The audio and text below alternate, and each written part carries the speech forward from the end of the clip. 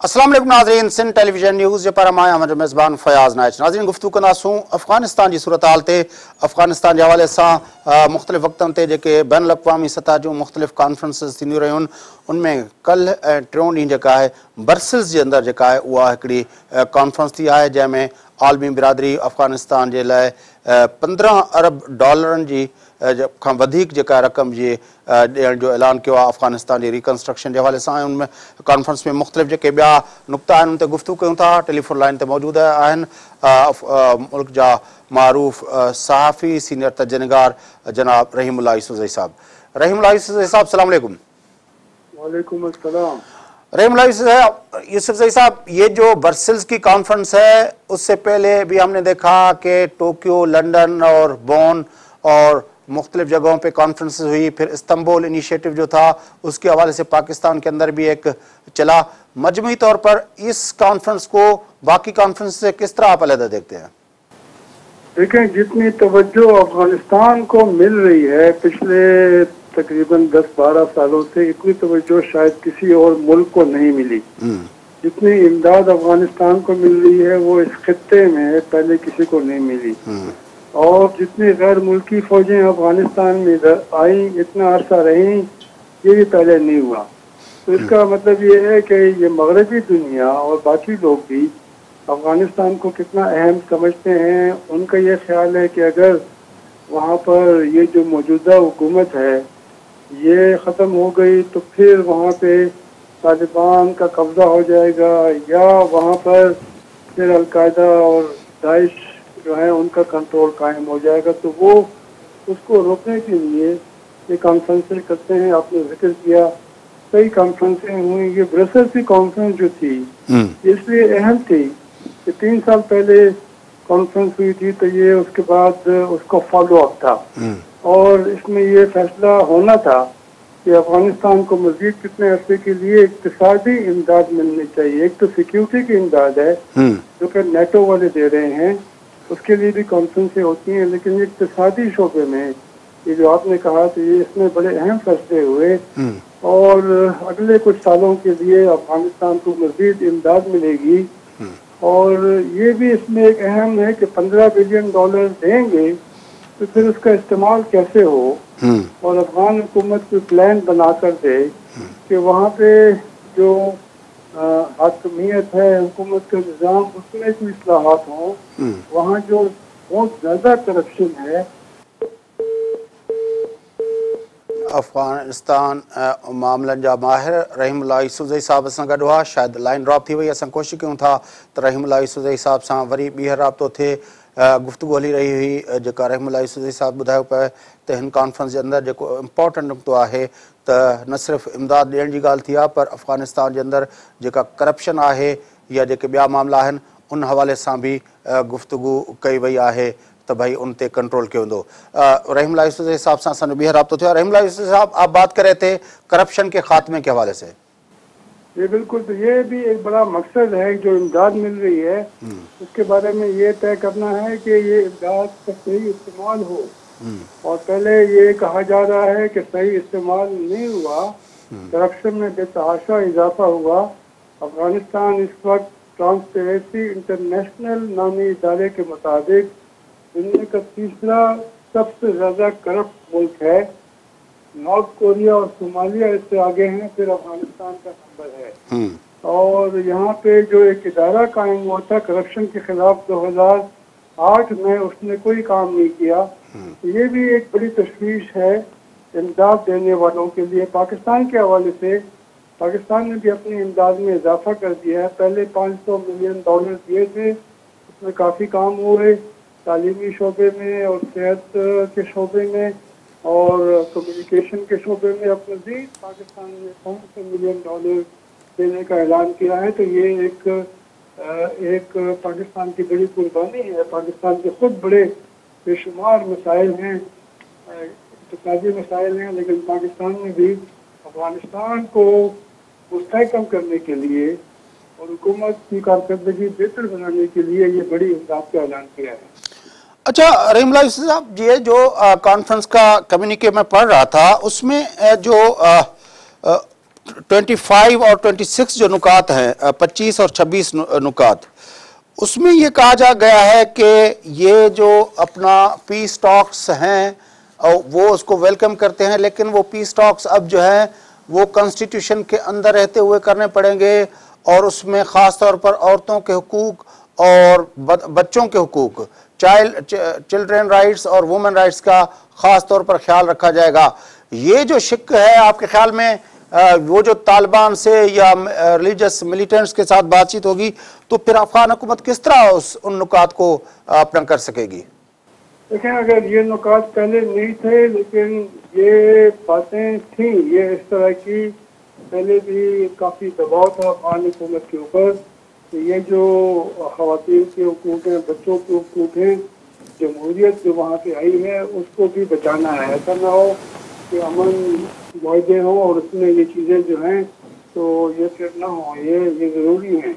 तो ये लेकिन यूरोपियन यूनियन ख़ास तौर पे ये मुतालबात करता है कि ये हुकूक जो हैं इनका तहफ़ होना चाहिए जो कामयाबियाँ हासिल की अफ़गानिस्तान में पिछले पंद्रह सोलह साल में उनका तो तहफ़ होना चाहिए। लेकिन देखें ये मेरे ख्याल में कागज़ी कार्रवाई होती है। हम्म। ये लिख दिया गया है लेकिन इस पर कहाँ तक अमल दरामद होगा? ये जो मौजूदा अफगान हुकूमत है इसके दौर में खातन के हकूक इतने पामाल हुए हैं हम्म। कि तालिबान की याद आती है हम्म। क्योंकि उस दौरान भी ऐसा ही हुआ था तो ऐसा है नहीं ये बच्चों के हकूक बच्चे जंग में भी शामिल हैं बच्चों की तालीम मुतासर हो रही है बेशुमार बच्चे जो हैं वो स्कूल से बाहर हैं और देखें हालिया दिनों में जो माजा हुआ है गुरबदी नकमतियार के हिंद इस्लामी और अफगान हुकूमत तो ये जो नुकात है उसका कोई खास तौर पर ज़िक्र नहीं हुआ हम्म। उस माहे में हम्म। और ठीक है हमतियार ने कहा है कि जो अफ़गानिस्तान के आइन को मानेंगे लेकिन हमतियार के खिलाफ इल्ज़ाम थे कि उसने वहाँ पे इंसानी हकूक की पामानी की या उसने अपने मुखालफी को कत्ल करवाया और या तो ये किसने काबुल शहर के ऊपर बमबारी की, ये सारी बातें फिर अमेरिका ने ऐलान किया था कि ये आलमी दहशत गर्द है। अमेरिका ने इसकी तंजीम के बारे में कहा था कि ये भी एक आलमी दहशत गर्द तंजीम है। इसकी सर की कीमत का ऐलान किया था अमेरिका ने। तो वो सारी बातें जो है, उसको बुला दिया गया है। और हमतियार को शामिल करने के लिए इस निज़ाम में, उसके हथियार डलवाने के लिए उसकी हर बात मान ली चाहिए तो मैं समझता हूँ कि ठीक है ये इसमें आ गया है डॉक्यूमेंट है।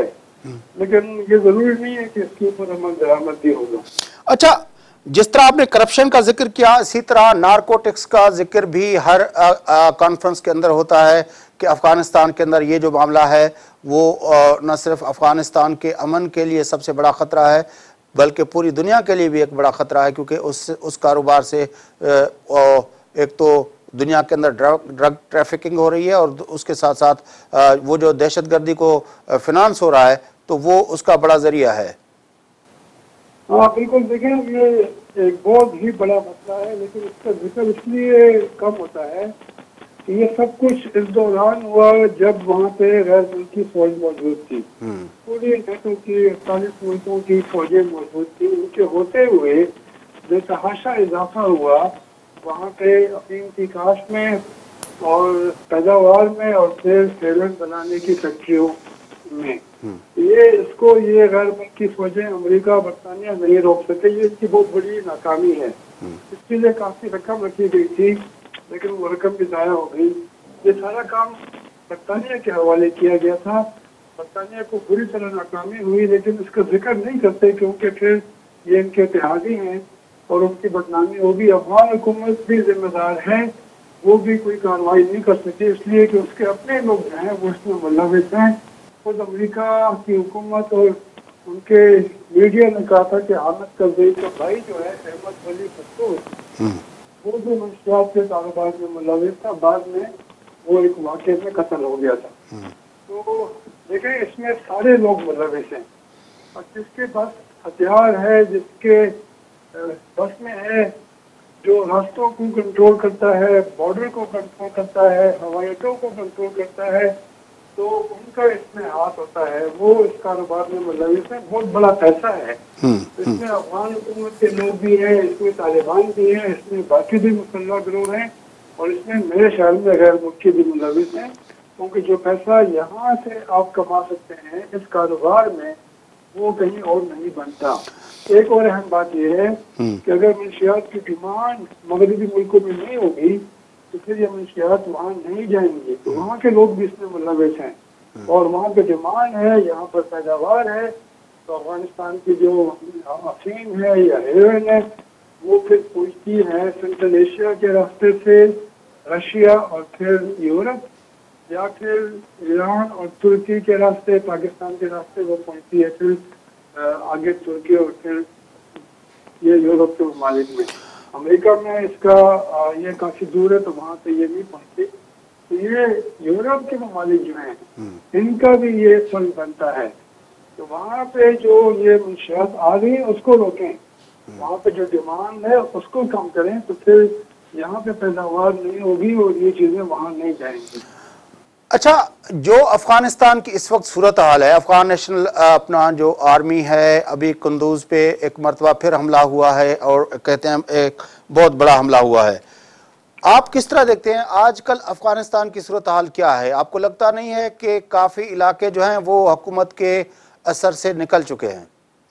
देखें पिछले चंद महीने में एक अमरीकी इदारे के मुताबिक उसको शिकार बोलते हैं और वो जो अमरीकी पैसा खर्च हो रहा है अफ़गानिस्तान में तो वो उसकी निशानदेही करते हैं उसकी मॉनिटरिंग करते हैं। तो उन्होंने कहा है कि पिछले कुछ महीने में पाँच फ़ीसदी मजीद इलाका अफगान हुकूमत के हाथ से निकल गया और तालिबान के हाथों में आ गया। हम्म, अभी उनकी जो रिपोर्ट है उसके मुताबिक जो है एक तो यानी एक तिहाई जो इलाका है वो तालिबान के कब्जे में है और बाकी के लिए जंग हो रही है। तो बड़ा शहर तालिबान के कब्जे में नहीं है इस वक्त। कुंदूज के ऊपर पहले भी पिछले साल भी इन्होंने हमला किया उसके ऊपर कब्जा किया फिर इनकी पसपाई हुई। अभी कब्जा लिया है लेकिन मेरे ख्याल में ये पसपा हो जाएँगे। लेकिन अब ये है कि ये बड़ी एक हैरानी की बात है कि तालिबान बहुत कम तादाद में अपने फाइटर्स के ज़रिए एक बड़े शहर के ऊपर कब्जा कर लेते हैं। कुंदूज जो है वो छठा बड़ा शहर है अफ़गानिस्तान। हम्म, और पिछली बार ये हुआ पिछले साल इसी महीने में इन्हीं दिनों में 500 तालिबान ने हमला ये हमला किया कुंदूज के ऊपर और पाँच हज़ार से ज़्यादा जो वहाँ पे अफगान फौजी थे पुलिस थे वो उसको नहीं रोक सके। तो ये एक देखें इसमें जो है कमिटमेंट की भी बात है और जो कुर्बानी देने वाली बात है वो बड़ी अहम है कि कौन लड़ना चाहता है और कौन लड़ना नहीं चाहता। तो एक तो ये बात फिर ये है कि आजकल काफ़ी इलाकों में तालिबान के हमले जारी है। मेरे ख्याल में वो चाहेंगे कि सर्दियों से पहले पहले कुछ मजीद इलाकों के ऊपर कब्जा कर ले क्योंकि सर्दियों में फिर जंग में कमी आती है। हम्म, और अब ये है कि हम देख रहे हैं कि दो इस वक्त सूबाई दार हुकूमत और हैं जिसके ऊपर तालिबान का दबाव है। एक फरा का सूबा है और जो शहर है उसको भी फरा कहते हैं। एक हिलमंद का सूबा है उसका जो मरकजी शहर है लश्करगाह। हिलमंद और हिलमंद का लश्करगाह। लश्करगाह बिल्कुल। उसके ऊपर भी हमले हो रहे हैं। कंदहार में एक दिल्ली हेडक्वार्टर है शाह अली कोर्ट। इसके ऊपर भी तकरीबन तालिबान ने कब्जा कर लिया। तो काफ़ी तालिबान के अच्छा रहीमला साहब आखिरी सवाल आपसे। हमें थोड़ा अपडेट कीजिएगा कि ये जो अफगान नेशनल आर्मी के अंदर जो वो एक अपना ट्रेंड चल पड़ा था कि वो अपना अफगान नेशनल आर्मी से लोग भाग रहे थे, फिर वो जो लश्कर नए सिरे से मुनज़म हो रहे थे उसकी क्या सूरत हाल है? अभी अफगान नेशनल आर्मी वो कोई एक इदारे की शेप में ज़्यादा ताकतवर हो रही है या अभी तक उसके अंदर ये कबायलियत और इस तरह के ट्रेंड्स अभी तक आप हैं?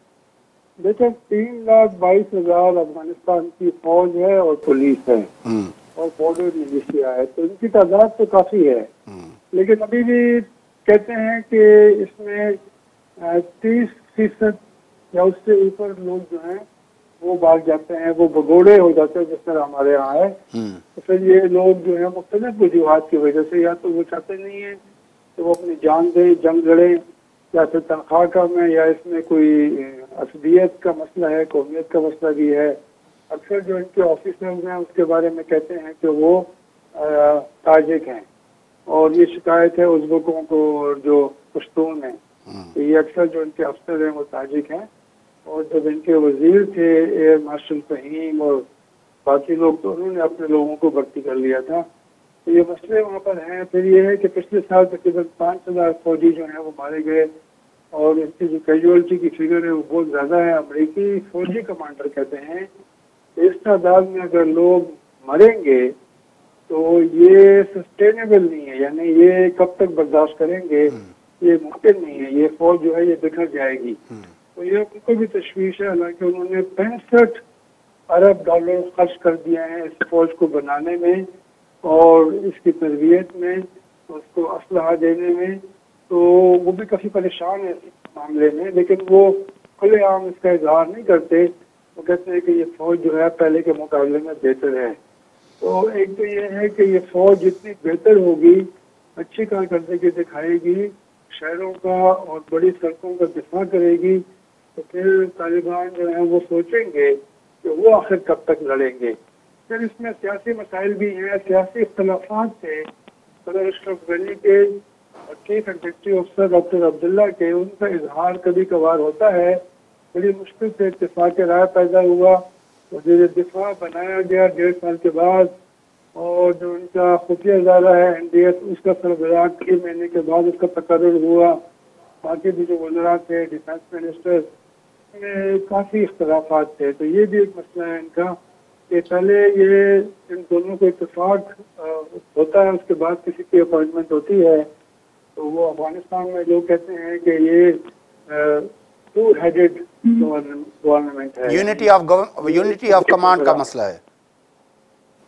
अना का मसला है कौमियत का मसला है और फिर ये भी है कि अच्छा आपके ख्याल में ये गवर्नमेंट पिछली जो हुए थे हम्म। इंतखाबात जो हुए थे वो नामुकम्मल थे। दोनों ने दावा किया था कि वो जीत गए हैं फिर अमरीकियों ने उनकी सुलह करवाई और ये एक मखलूत हुकूमत बनाई है लेकिन उसमें अख्तलाफात अभी तक मौजूद हैं। ये हुकूमत पिछली हुकूमत की नस्बत बेहतर कारकर्दगी दिखा रही है। कर्जे हुकूमत जिसमें करप्शन कहते हैं ज़्यादा थी उसका भाई और वो नारकोटिक्स और ये सारा था।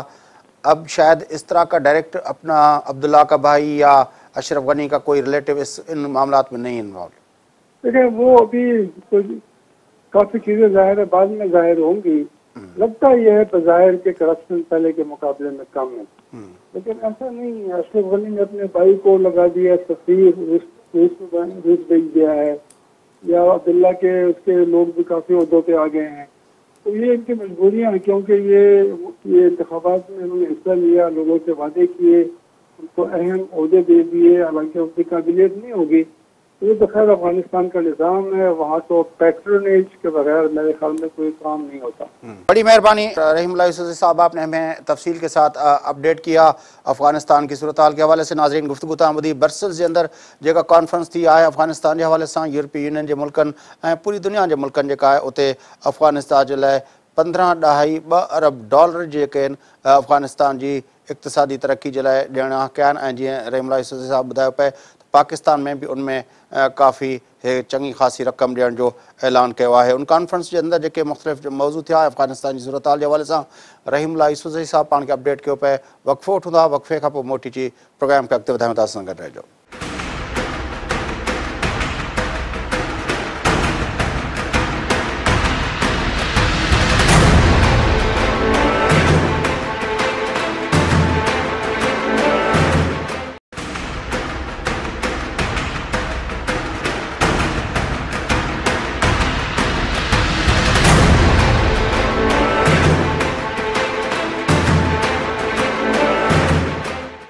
वेलकम बैक प्रोग्राम जे सिलसिले खे अॻिते वधायूं हाणे गुफ़्तू कंदासूं कराची जी सूरत हाल ते जिते कल्ह पुलिस जे पारां दावा कई वई त वॾे पैमाने ते हथियार हथ कया विया आहिनि ऐं हथियार अज़ीज़ाबाद में नाइन ज़ीरो जे वेझो हिकिड़े बंदि पियल घर माँ हथ कया विया आहिनि कराची जे हवाले सां काफ़ी अरसे खां वठी नेटो जे टैंकर जूं गुम थियण जी गुफ़्तगु थींदी रही नेटो तोड़े जो उन्हनि तरदीद करे छॾी, पोइ उन सॼे पस मंज़र नामे ते था।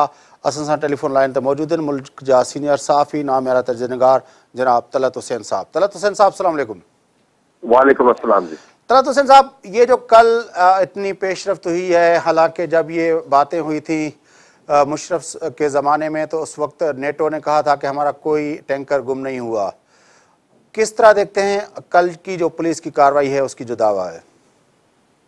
देखें कराची के अंदर वाकयात का तसलसल वो ना होता जो रहा है तो शायद ये खबर पाकिस्तान की सबसे बड़ी बन रही हो।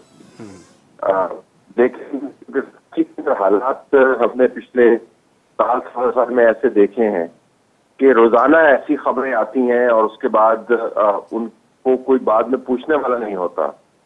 तो हमें इस खबर की अहमियत का तजिया करते हुए थोड़ी सी एहतियात बरतने की ज़रूरत है। हम्म।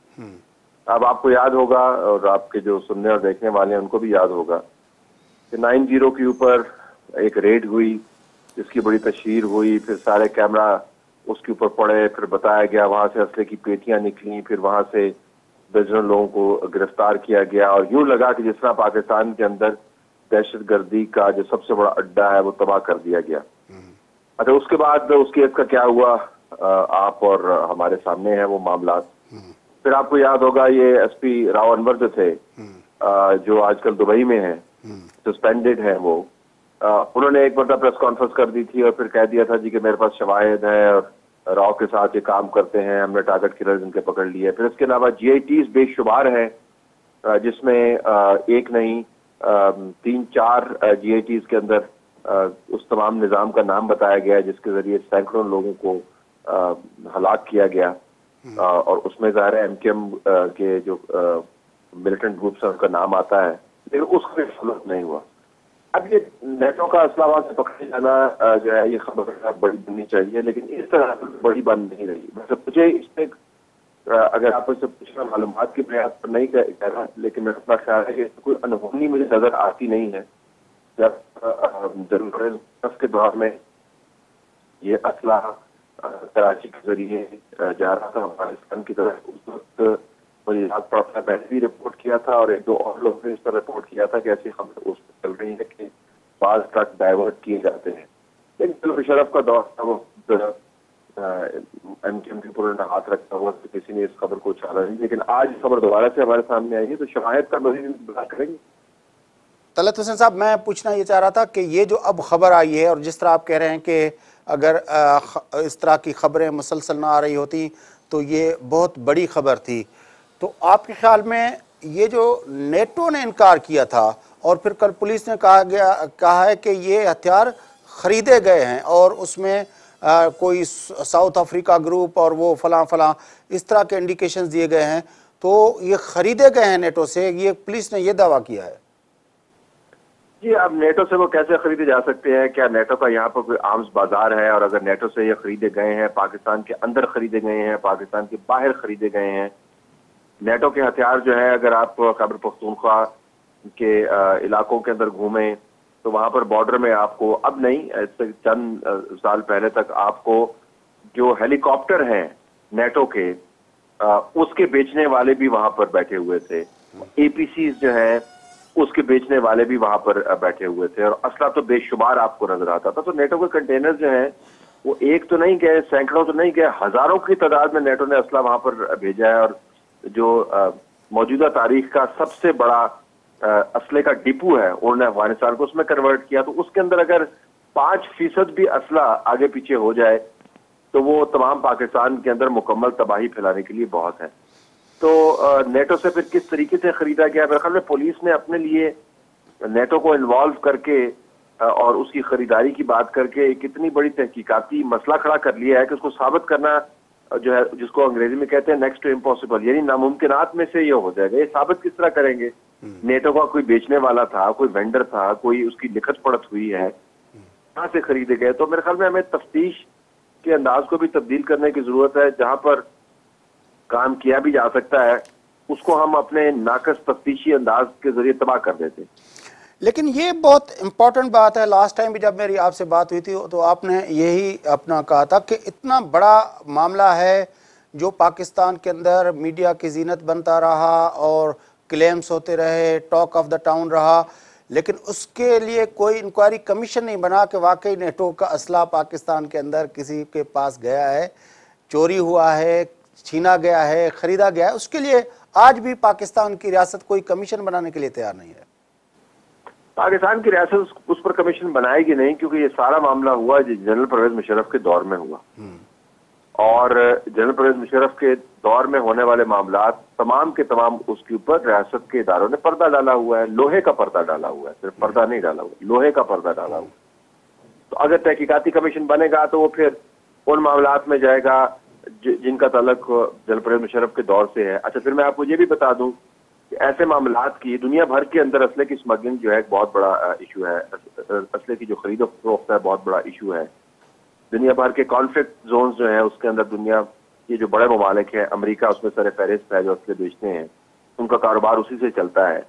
अब आप आ, किसका कहाँ से सिरा पकड़ेंगे और वो डोर कहाँ तक जाएगी? हम्म। मेरे ख्याल में रियासत पाकिस्तान को ये करना चाहिए, ये साबित करना है कि असला गैर कानूनी तौर पर रखा गया।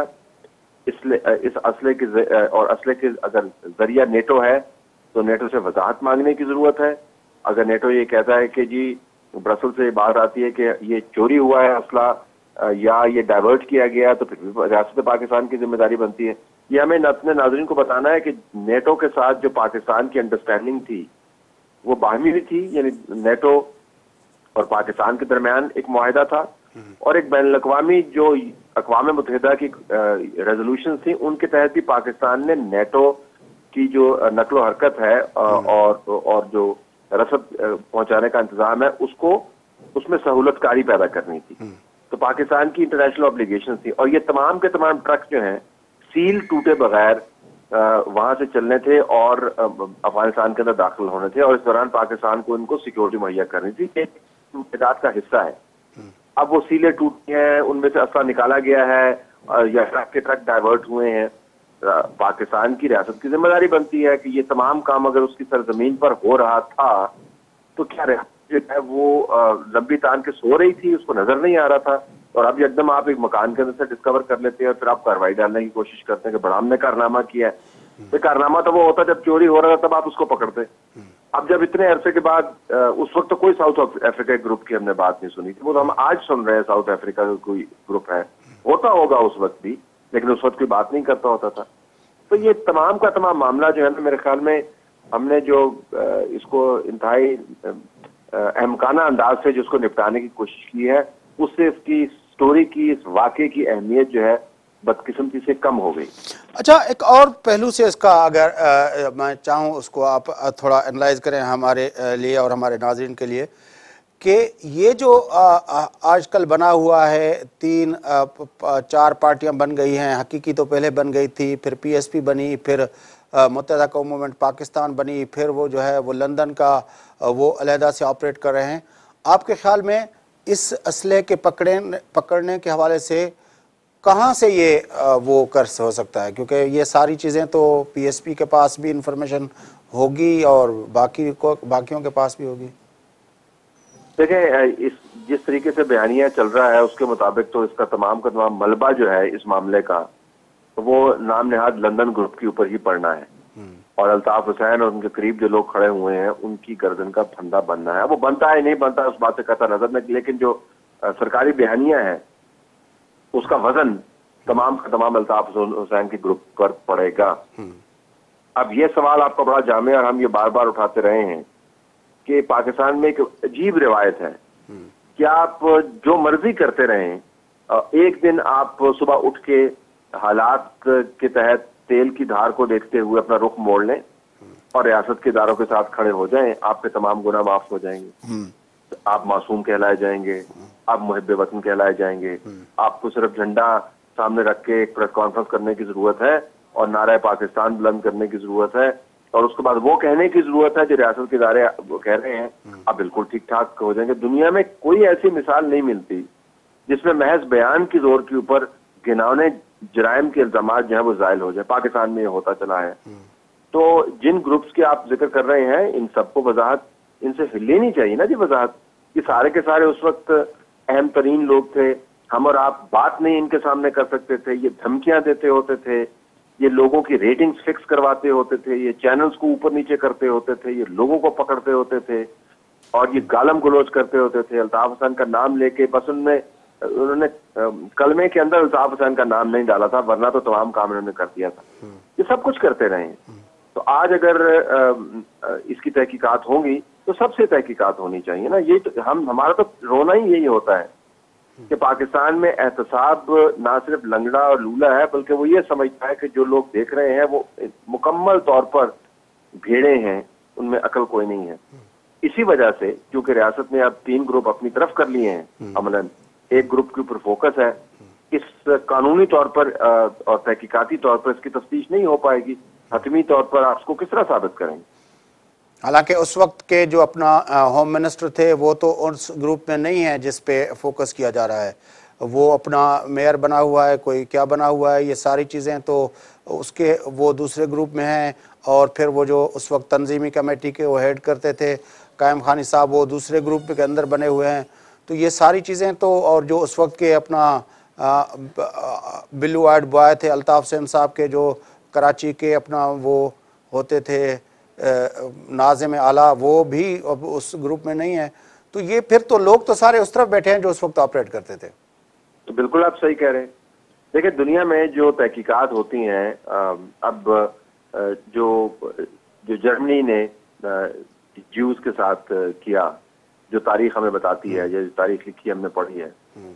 उसके मुताबिक अब उन लोगों के ट्रायल भी शुरू हो, हो गए हैं जिन्होंने उन जेल खानों की अकूबत खानों के जो मुहाफिज हुआ करते थे अभी एक ट्रायल चल रहा है हम्म। कि अकूबत खाने का जो मुहाफिज था उस वक्त जो बयासी साल का है हम्म। जो जो बाहर की तरफ़ देख रहा था और अंदर के वाकयात से नावाकिफ था उसको भी जेनोसाइड की तहकीकात के अंदर उसको भी शामिल किया जा रहा है।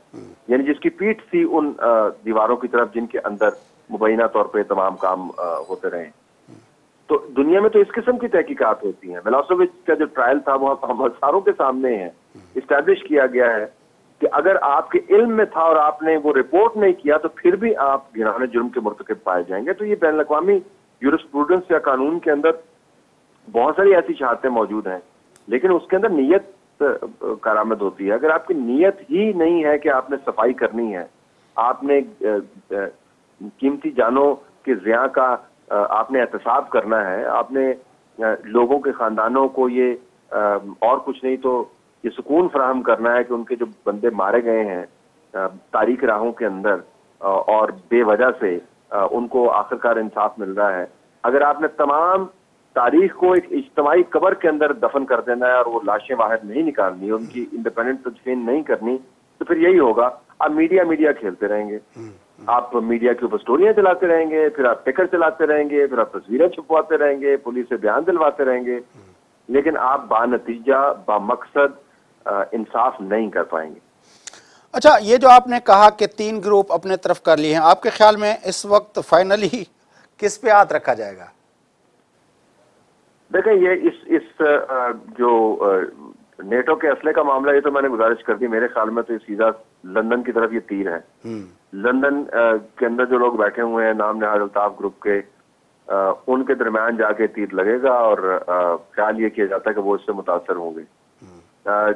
ये भी एन मुमकिन है कि इस स्टोरी को अगर फैलाया जा रहा है तो फिर जो अभी लोग तजब्जब का शिकार हैं और अल्ताफ हुसैन की तरफ़ जाने की कोशिश कर रहे हैं उनका किबला भी दुरुस्त हो जाएगा।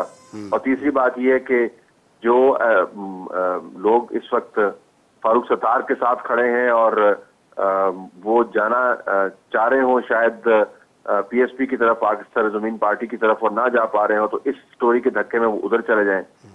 तो तीन ग्रुप के अंदर की सियासत इससे मुतासर हो सकती है अगर स्टोरी को फैलाया गया और उसको बाकायदा फॉलो किया गया। हम्म, लेकिन जो असली हदफ है वो तो लंदन ही है। तो आपके ख्याल में फारूक सत्तार की जगह पे पीएसपी को ज़्यादा अहमियत दी जाएगी? देखिए अल्ताफ अल्ताफ हुसैन इसका सबसे ज़्यादा मुतासर होगा अगर इसको सही तरीके से हैंडल किया गया। फारूक सत्तार की पार्टी के अंदर से लोग पीएसपी की तरफ़ जा सकते हैं स्टोरी के तनाजर में। अगर उनको ये गारंटी मिल रही हो कि जी उनसे तहकीकात नहीं होंगी। हम्म। लेकिन मुझे नहीं लगता कि फारूक सत्तार अब उस तरह जो है वो बुरा शख्स समझा जा रहा है जिस तरह कुछ हफ़्ते पहले समझा जा रहा था। लंदन से जो उनकी लड़ाई चल रही है उसके पेश नज़र मेरे अपनी तज्जिए में उन्होंने पाकिस्तान के अंदर अपनी एस्टेब्लिशमेंट के साथ और अपनी क्रेडिबिलिटी थोड़ी सी बनाई है। उसमें उनको कोई कमाल नहीं है वो लंदन की अपनी मुसलसल बेवकूफियाँ हैं वो अभी भी वहाँ पे बैठ के समझ रहे हैं कि वो कराची के बेताज बादशाह हैं। तो वो जितनी फायरिंग करते हैं फारूक सतार के ग्रुप के ऊपर फारूक सतार के ग्रुप को उतना ही फ़ायदा होता है। बड़ी महिरबानी तलत हुसैन साहब आपने हमें ज्वाइन किया। नाज़रीन गुफ्तु तां मुल्क जा नाम मेरा साफ़ी सीनियर तजनगार तलत हुसैन साहब असां गॾु कराची जे अ, मंज़रनामे ते गुफ्तगु थी जेको कल्ह एॾी वॾी तादाद में जेके हथियार हथीका कया विया आहिनि हथ कया विया अज़ीज़ाबाद वेझो हिकिड़े बंदि पियल घर जे अ,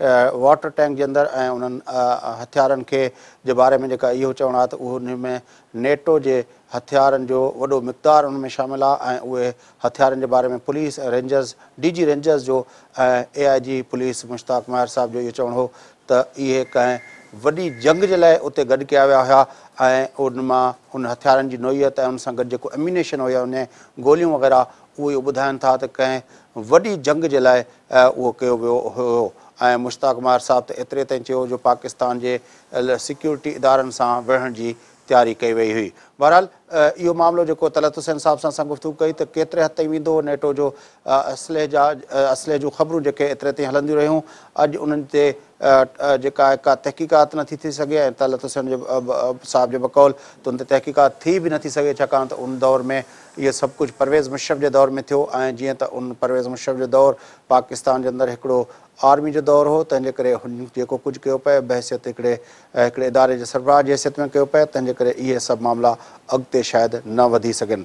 बहरहाल, तमामु इम्पोर्टेंट इशू आहे पाकिस्तान जे अंदरि, जेको कल्ह पुलिस जो बयानु हो, त इहो असलो, इहा हथियार जेके आहिनि ख़रीद कया विया आहिनि। ख़रीद कया विया आहिनि, त जीअं तलत हुसैन साहब ॿुधायो पिया, त ख़रीद कया विया आहिनि, नेटो खां ख़रीद कया आहिनि, या कंहिं ग्रुप उन चुराया, उन खां पोइ उन्हनि खां ख़रीद कया विया।